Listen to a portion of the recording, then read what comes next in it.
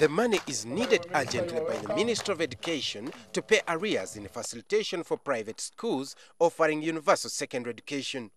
The 15 billion shillings demanded by the schools has been accumulating since January.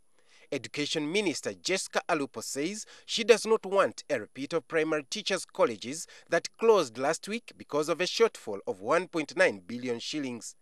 Private schools have given the government until the 30th of this month to come up with the money or close.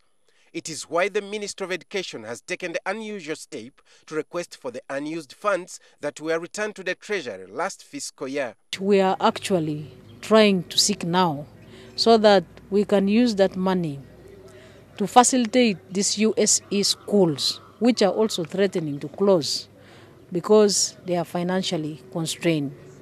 Because the Minister of Finance has not adequately sent us the resources which we can channel to those schools.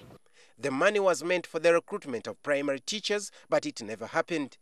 Regarding the closure of PTCs, the minister said that the Minister of Finance agreed yesterday to release the funds but did not give the time frame. By yesterday, they were in consultation with the technical people from our ministry with a view to releasing the 1.9 billion which the Ministry of Education and Sports needs for the PTCs to run. If government or the schools around those students who are nearby could be allowed to have a sort of teaching practice within those schools nearby.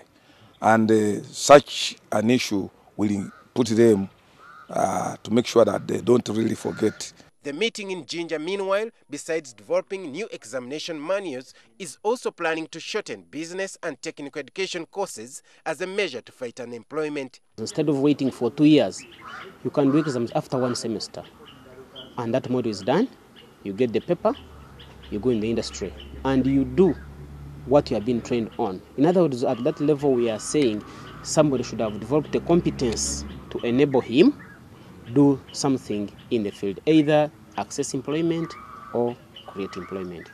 The business and technical examination manuals will have been developed by the end of the week. Hilary Isiga, NTV.